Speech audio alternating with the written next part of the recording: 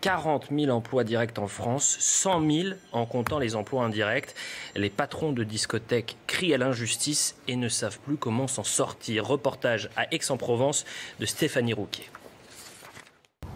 Ce club, installé en périphérie d'Aix-en-Provence, n'a pas vu un seul client depuis le 14 mars. C'est le carré VIP, c'est normalement que c'est la folie là.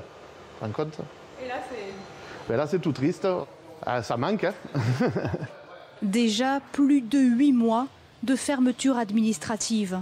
Tout le monde a une date d'ouverture, sauf nous et maintenant. Christophe Longo doit débourser tous les mois 22 000 euros de charges fixes que les aides de l'État ne suffisent pas à couvrir. Ben moi j'avais la chance d'avoir un peu de trésorerie. J'arrive au bout là, j'arrive au bout. C'est honteux ce qui se passe. Comment on peut vivre 8 mois, bientôt 9 mois, sans revenus? Qui nous le disent. Que nous proposons de supprimer nos pistes de danse, un système de ventilation qu'aucun autre secteur n'a. Donc on ne comprend pas pourquoi. On ne regarde pas le protocole qu'on a proposé, qui peut être adaptable comme tout un, tout un autre secteur. Ces deux directeurs se disent chanceux. Leurs établissements sont réputés depuis des années.